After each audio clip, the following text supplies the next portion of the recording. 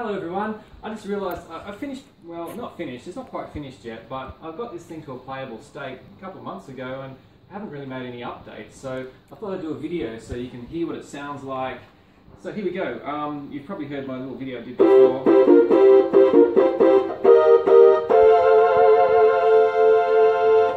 Got a few new features since then. Uh, all these buttons here I can change sound.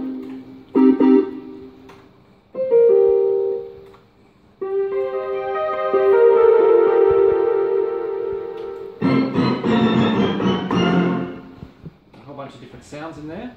I have a drum machine. Um, I have all these buttons up here, which are my bassline buttons.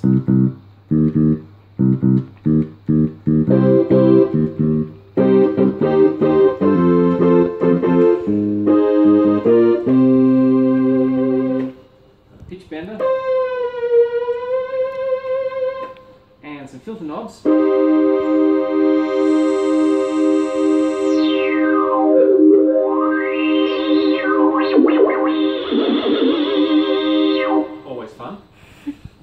Um, and I have an accompaniment system, uh, so I can get it to pretty much automatically play itself, which is nice.